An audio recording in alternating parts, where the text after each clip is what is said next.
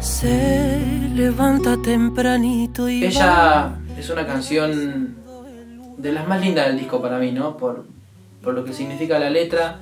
Describe a la figura de una mujer, o de la mujer en realidad, ¿no? Porque no habla de una, sino de, de la mujer en general.